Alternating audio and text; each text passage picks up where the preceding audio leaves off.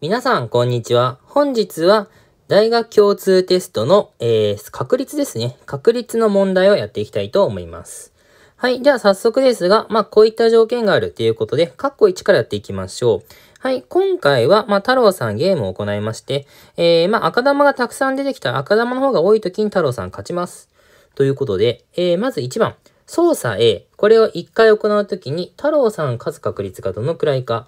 えー、最初の状況としては、はい、太郎くんは、えー、ね、レッドとホワイトを1個ずつ持っている。で、花子さんに関しては、レッド2つにホワイトを3つ持っているっていう状況です。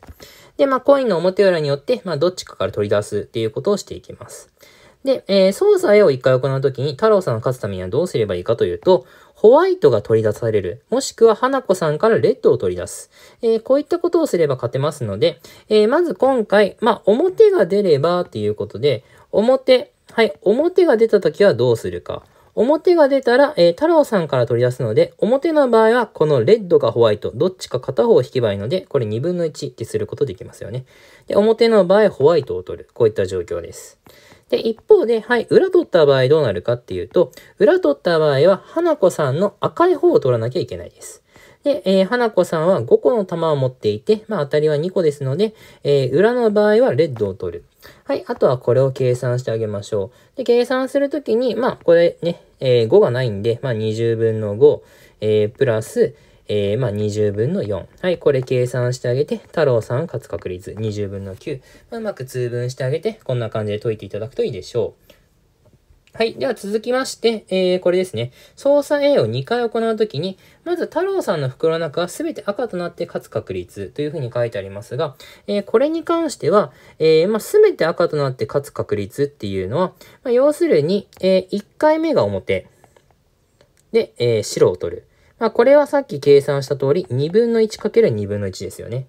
で、なおかつ、はい、2回目。2回目に関しては、はい、裏が出て赤。で、表もう一回出しちゃうと、太郎くんのレッドを取るしかないで、太郎くんが勝てません。なので、2回目は、はい、裏が出て、えー、花子さんのレッドを取るという状況になります。えー、なので、これは2分の1かける、えー、まあ、今回、玉が花子さん6個になっちゃって、そのうちの当たりっていうのは、レッドは2個ですよね。はい。なので、こういった計算式になります。はい。で、こういう風になっていって、まあ、今回、そのすべて赤玉にしなきゃいけないので、後のケースとしては、はい。えー、まあ、先に花子さんのレッドを取る。えー、つまり、2分の 1×5 分の2。ね。裏出してレッドを取って、はい。2回目に関してはまた2分の1の、えー、で、1回レッドを取っているので、太郎かさん、太郎、太郎、太郎くんですね。太郎くんは、レッド2つにホワイト1つになりますので、3分の1、ホワイトを取らなきゃいけない。で、表出してホワイトにしなきゃいけない。はい。あとはこれを計算してあげれば OK です。で、計算してあげると、ちょっとこっち2が多いからうまくね、えー、こういう風にスッっていう風に消すことできそうですね。えー、で、これ計算してあげると、えー、2人が4、四六24。はい、24分の1プラス、えー、こっちは多分消さない方がいいですね。あの通分とかするときに結構大変になりますので。はい、60分の2。こんな感じにすることできますので、まあ、120で合わせてあげましょうか。120分の、はい、5プラス4。えー、ってことは120分の9になりますので、3で割り算して、えー、40分の3。はい、これが答えとなります。で、次、えー、この、ま、すべて赤玉で、太郎さんが勝った時っていうことなので、す、べ、て赤じゃなくても太郎さん勝てる、えー、可能性があります。で、そのためにはどうすればいいかと言いますと、えー、まあ、結局、ね、1回目、裏を引いて、えー、赤。これ取り出して、2回目も、えー、まあ、その裏、ね、え、裏レッドの裏レッド。こんな感じになれば OK です。で、2分の1、5分の2になりまして、2分の1かける4分の1。で、これの掛け算をすることによって、まあ、1回目は2回目は花子さんからレッドレッドで取り出すと、太郎くんはレッド3つにホワイト1つっていう感じで勝つことができますので、こういったケースも大きになります。で、これ計算してあげると、えー、2、50、2、4が8。まあ、これ2と2で1回約分しておきます。えー、40分の1。で、40分の1っていう風にすることできますので、はい、よって、えー、今回は、えー、太郎さんを勝った時に、えー、袋の中は全て赤である条件付き確率になりますので、えー、まあ、結局、太郎勝つ。太郎が勝つのは40分の1たす40分の3なので、40分の4ってすることができます。はい、そしたら40分の4ってすることできますので、えー、全体で勝つ確率40分の4。で、全部赤になるかの、えー、確率が40分の3。スッスッって約分してあげて、えー、まあ、この条件付き確率4分の3。はい、こんな感じで求めることができるわけですね。はい、では次行きましょう。えー、次はどんな感じでアプローチしていくかなっていうふうに言うと、えー、次の問題、えい。まあちょっと不公平だなって感じた太郎さん。えー、まあ結局、ちょっとね、条件変えていきましょうというふうになりました。で、新しく太郎さんどういうふうに考えたかっていうと、サイコロ1回投げて4以下の目、まあ6分の4ですので3分の2。この確率で太郎さんの袋から取り出す。で、5以上が出た場合、はい、3分の1。ね、これでは、えー、花子さんから取り出すっていう状況ですね。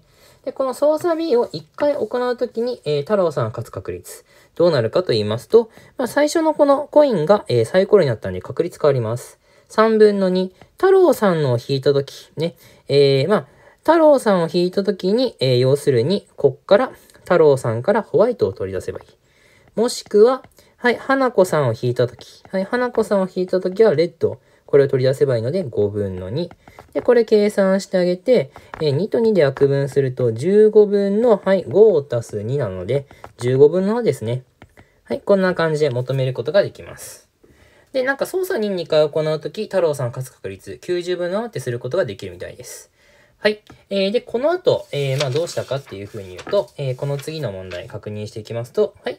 えー、太郎さんが、まあ、こんな感じで、えー、花子さんに操作 A を操作 B に変更して、えー、操作2回ずつ行いますよ。っていう風にしたときにどうなるかということですね。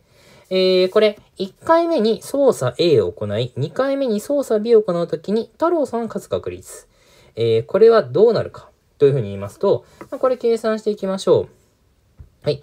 えー、まあ、要するに、太郎さん。はい、太郎さんは、えー、ホワイト。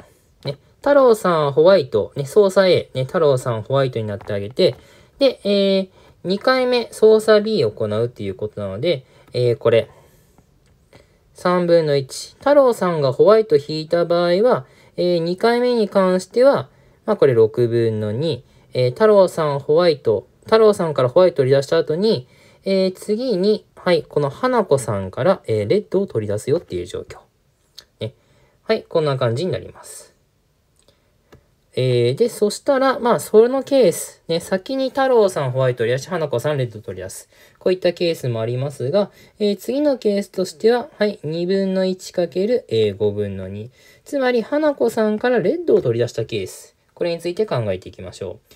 で、そうすると、2回目はどうすればいいかっていうと、えー、この2回目に関しては、まあ、この3分の1の確率で、太郎さん、太郎さんは今、レッド、ね、えー、持ってますので、太郎さんじゃないですね。これ、花子さんですね。花子さんの場合は、あとレッド4個中1個持ってますので、えー、花子さんからレッドを取り出す。このパターンか、3分の2。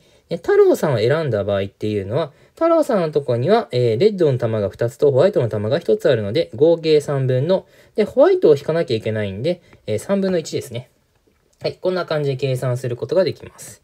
で、あとはこれ計算してあげて、えー、まあこれスッスって消してあげて、まあ36分の1プラス、これもスッスって消してあげて、5分の1と、えー、まあここら辺計算すると、えー、3、4、はい、12分の1プラス、サザンが9分の2ってできますので、36分の3と36分の8ですかね。